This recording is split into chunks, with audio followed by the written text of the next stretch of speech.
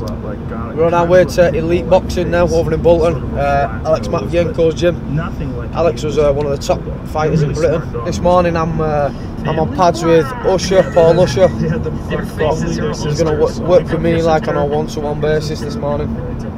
Got a bit of a game plan together for this fight, and today we'll be, you know, brushing up some of them skills, sharpening the tools. But it's a good laugh over here, man. We have a good laugh. It's not it's not all serious, you know. We we train hard, obviously, but we have a good laugh as well.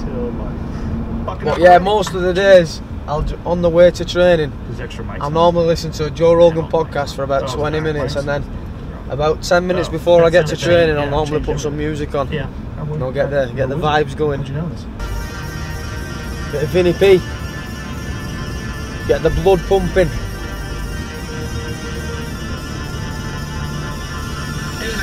A goddamn thing gonna change. I'm still the same Vinny. I'm still the same fat motherfucker, same guinea. A little bit more money, that's why I ain't skinny. Still the same block hugger, still the same city. I still got the same people that remain with me. Saul Rogers will be up here now as well, man. Uh, obviously, me and Saul is one of my one of my best mates, man. I fucking love that guy, man. He's we train together at SBG. He trains up here at Elite Boxing as well. So you'll probably catch Saul.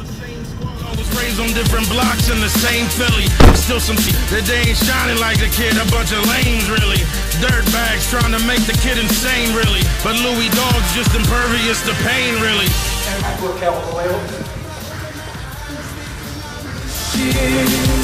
I guarantee if you're fucking with me, you gon' know you Don't be filming him.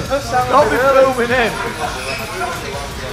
First time I've been early, mate. Ain't anybody ever gonna hold me down. I'm one of the greatest ever, homie. I stole the crown. I'm too strong and fast, you ain't slowing me down. I'm Just uh, up at Elite Boxing now. Uh,